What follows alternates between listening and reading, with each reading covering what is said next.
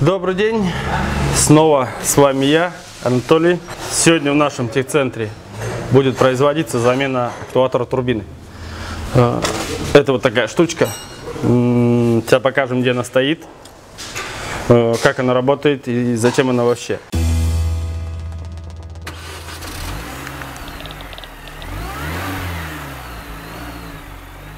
Менять мы ее будем на вновь Гранд Староксе на турбодизеле 2,5 литра. Пропала мощность двигателя, то есть не развивает обороты. А, Визуально было видно, что геометрия не опускалась в нижнюю часть. Сейчас мы сделаем такой маленький тестик, запустим двигатель.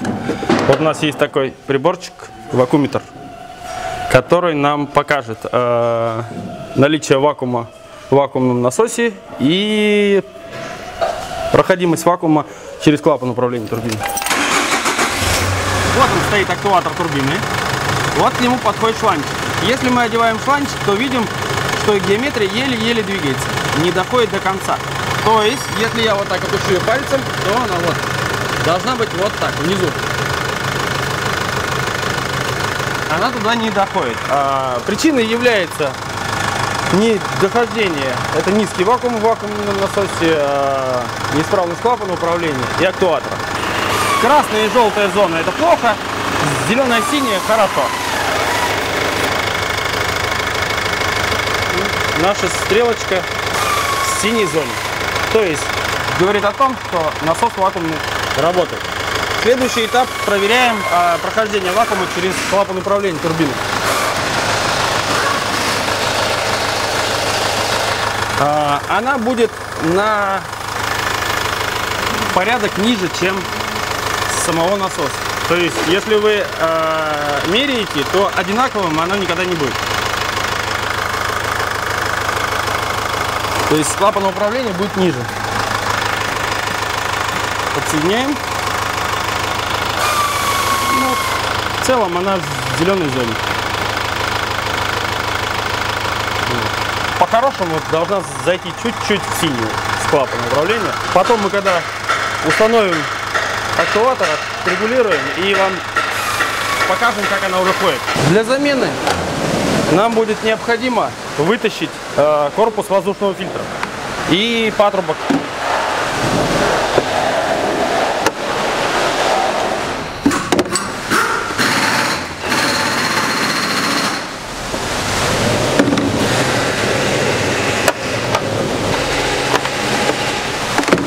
Так, это у нас воздухоприемник.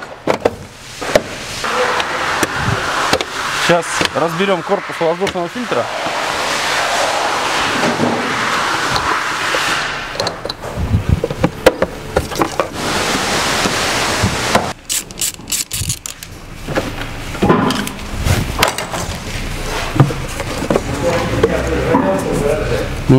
Когда снимаете данную часть, проверяйте, чтобы датчик массы расхода воздуха был чистый внутри.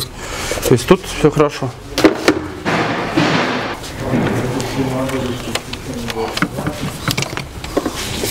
Сам корпус крепится на трех болтах. Довольно так глубоко они там сидят.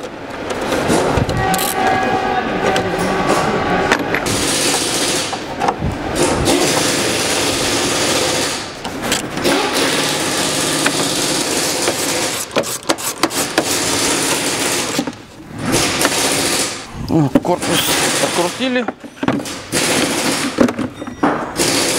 Вытаскиваем. Полностью корпус. Так вот. Снимаем сейчас патрубочку. А, кстати, хомут был и верхний, и нижний. Довольно слабенький. Вот этот хомут мы сейчас перевернем. Э, Это по заводскому он стоит. Э, Лучше его удобнее затягивать сверху, когда мы работаем. Ну, по крайней мере, я так делаю всегда. Переворачиваю, мне так удобнее. Потом детали все эти мы продуем, прежде чем ставить. Так, ну вот. Уже мы видим наш актуатор, вот он. А, Сейчас мы уберем бачок гур. А, Сзади надо отжать там два усика. И он отсюда снимется. Вот таким образом. Так мы убираем сторонку его, чтобы он не мешался. Сейчас сорвем контрагайку регулировочного винта внизу. Он нам будет мешать выкрутить нижний болт. То есть его надо полностью снять. И расконтрагает тягу самого актуатора. Вот. Все, сейчас мы это сделали. Сейчас удаляем регулировочный винт оттуда. Вот так выглядит регулировочный винт. А с одной стороны у него есть вот под шестигранничек. Теперь 4 болта, два нижних и два средних. А, вот ключ на 11. Болты старайтесь не терять. А, болты, они, во-первых, то есть у них грани под ключ на 11. Это во-первых. Во-вторых, а, резьба у нас там не на 6, а на 7. То есть, потеряв болт, вы вряд ли его найдете.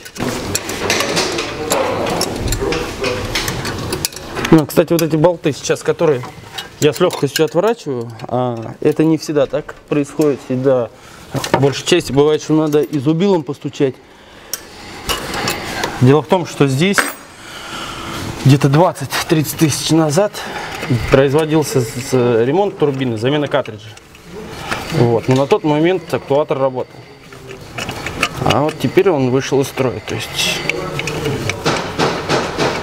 Откручивание болтов а, затрудняет тот факт, что а, пружина актуатора тянет вверх. Поэтому надо и крутить болт, и вроде как оттягивать актуатор наверх, чтобы он немножко расслабился. Ну, можно, в принципе, взять и ослабить тягу. Вот. Сейчас что мы и сделаем. Сейчас покажу вам потом колесик этот. Это натягивается пружина самой тяги. Она должна быть под нагрузкой для быстрого и эффективного сброса. В момент, когда э, мап-сенсор даст сигнал на сброс. Мап-сенсор, может быть, не каждый понял, э, просто это датчик, который считывает давление и температуру воздуха. А, называют его по-разному, то есть там кто как датчик давления буста, центр, как, как еще там есть. Болты, конечно, сложно вытаскиваются, все под своим углом. Ну вот, четвертый винт я выкрутил. Теперь ворачиваем тягу. Картридж здесь в турбине стоит не оригинальный так как их не бывает оригинальных, как правило. Попробовать вот на, на втягивание, то есть прям взять. Вот чувствуется, что идет воздух. Напрямую от вакуумного насоса подсоединяем и обращаем внимание на тягу.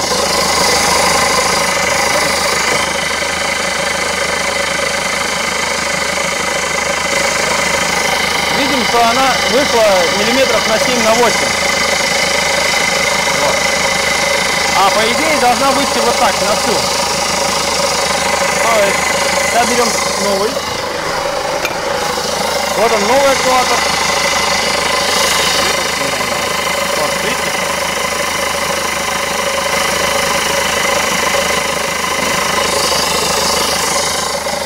То есть, прежде чем устанавливать актуатор, мы его проверили. И теперь будем ставить. Также для болтов будем использовать температурный смазку для регулировочной тяги винта.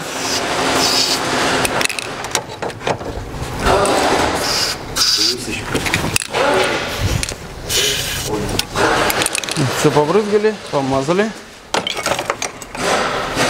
Так, следующий наш шаг мы сперва прикрутим тягу а, но не натягиваем. Так сказать, наживим ее.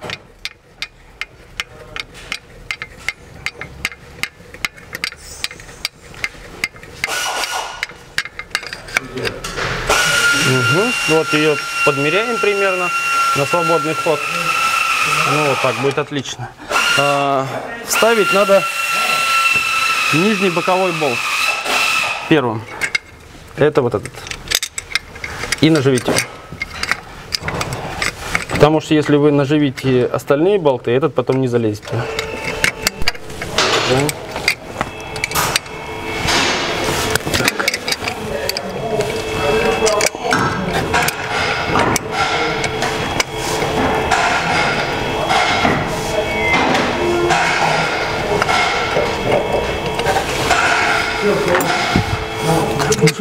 Последний четвертый болт. То есть, прежде чем что-то затягивать, сперва наживляем все болты. Чтобы потом, э, во-первых, они закрутятся все от руки. Это раз. Во-вторых, не придется потом что-то обратно откручивать, чтобы поставить тот или иной болт. Так. Вот они все от, от руки идут. А, опять же говорю, что не так давно она разбиралась. Во-вторых, мы ее помазали. Поэтому болты идут от руки, что сократит наше время замены до минимального. Так, ну все, берем ключик и фиксируем все болты.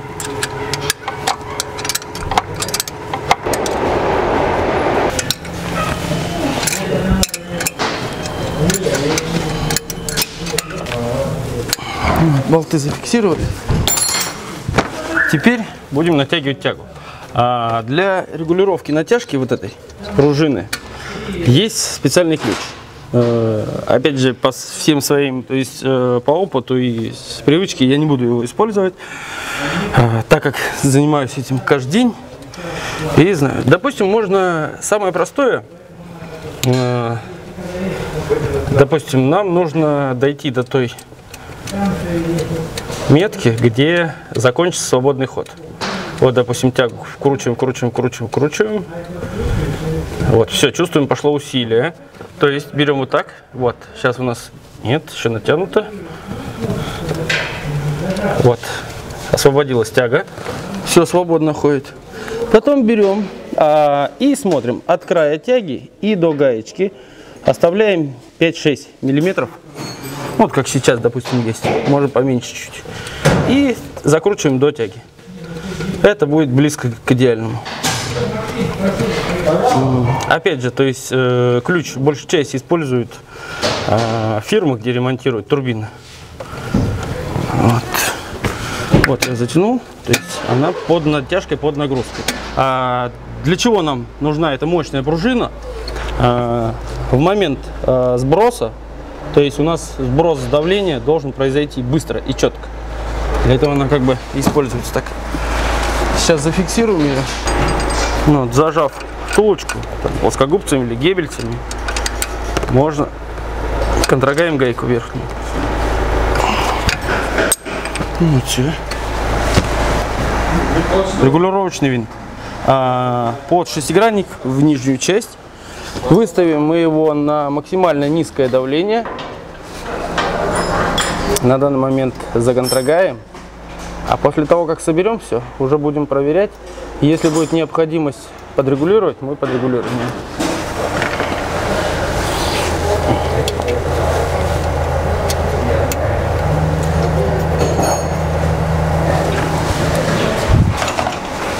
Также ключиком на 10 контрогаем его.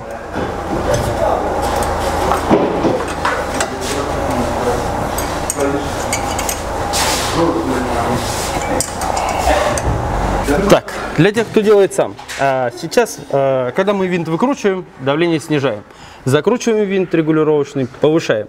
А, для тех, кто, допустим, заменил актуатор, приобрел сам и хочет доехать своим ходом до сервиса, и там уже выставить точно, все проверить, выставляйте вот так. То есть максимально вверх.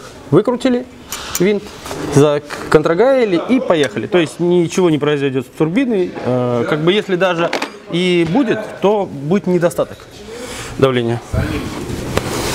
Но это ничего страшного. Так, здесь мы закончили. Возвращаем бачок на место гидроусилителя. Теперь клапан управления. У клапана управления имеется воздушный фильтр свой, который нередкость на Grand Starex забивается. Здесь уже его продули.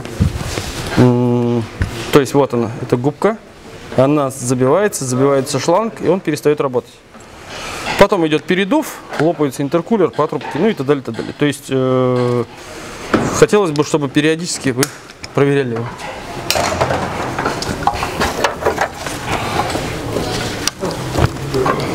Там скажи. Блять, меня тащит в магазин, иди скажи. Молодец. Я вчера говорил. Красавец. Все, сейчас будем устанавливать корпус. Так, вот он корпус, в нем довольно много скапливается грязи, то есть при замене фильтра старайтесь выдуть оттуда все. Что мы сейчас и сделали.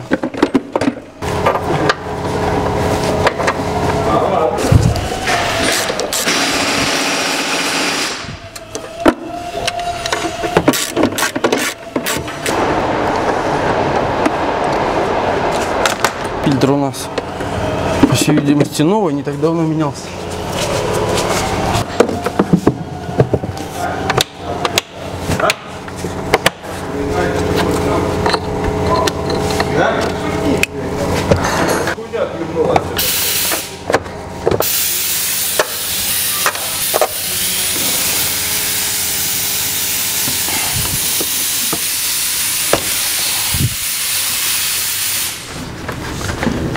Хомут, я который переставлял, он теперь находится в верхней части. То есть это будет гораздо удобнее для вас. То есть подлезть сюда снизу, ослабить очень сложно. Сейчас затягиваем оба хомута.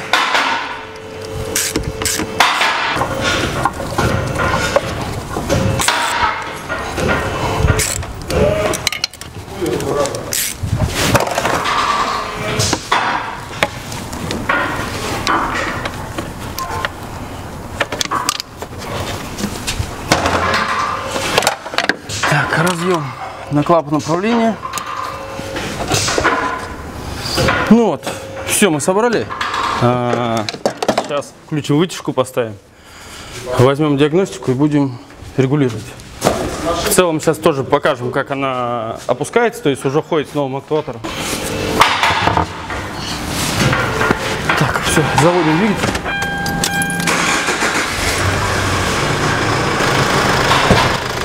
Вот наша тяга, то есть теперь полностью ходит.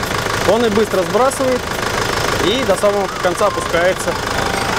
В целом мы вам показали все. Самые такие простые основы, если вы захотите сделать сами. А, все остальное дополнительное вы не сможете.